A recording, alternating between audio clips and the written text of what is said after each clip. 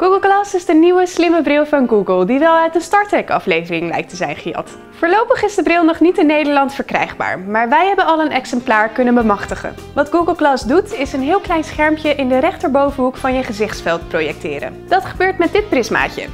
En het klinkt best opdringerig, zo'n schermpje altijd in je ooghoek, maar dat valt heel erg mee. Als je een nieuwe melding binnenkrijgt, bijvoorbeeld een Facebook berichtje of een mailtje, dan hoor je een klein piepje. Het schermpje is niet zo heel erg groot, slechts 640 bij 360 pixels en het valt daarom niet zo heel erg op. Je ziet het ook alleen in beeld als je je bril aanzet. De bril zelf valt wel op en je ziet er wel een beetje nerdy uit met de camera aan de rechterkant van je oog. Ook voelt het in het begin een beetje vreemd om tegen de bril te praten, maar je kunt de glas ook bedienen door tegen de zijkant te swipen.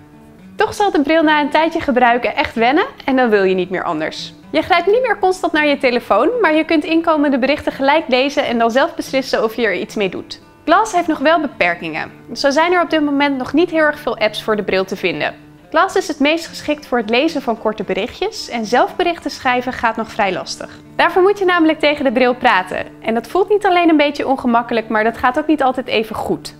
Toch zijn we groot fan van de bril. Het biedt fabrieksmedewerkers en artsen nu al veel extra informatie, zonder dat ze daarbij hun handen hoeven te gebruiken. En ook al ziet het er misschien een beetje gek uit, het voelt wel heel futuristisch.